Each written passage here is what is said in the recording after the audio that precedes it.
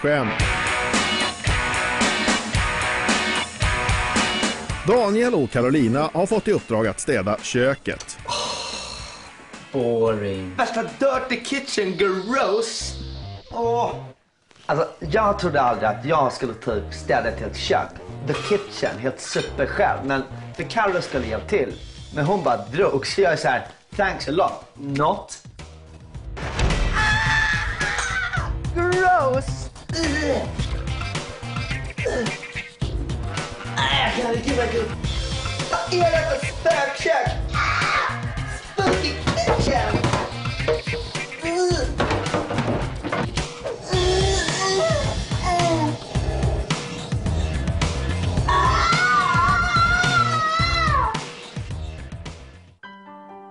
Jag gillar att få uppmärksamhet för mitt smink, mina kläder och eh, så gillar jag att eh, flirta med killar.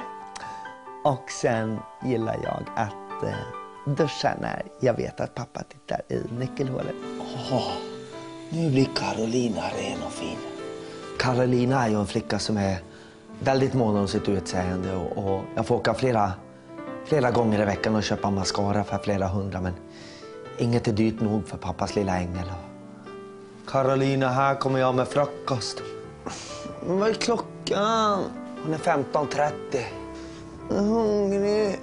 Här har vi ägg, müsli, macka och lite juice och kaffe. Pappa, jag orkar inte tugga. Men då tuggar pappa till sin lilla ängel. Mm.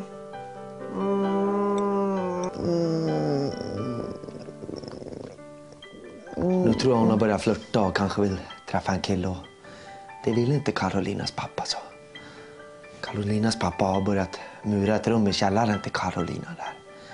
Där Karolina kan få vara i fred med sin pappa. Där kan pappas lilla ängel vara.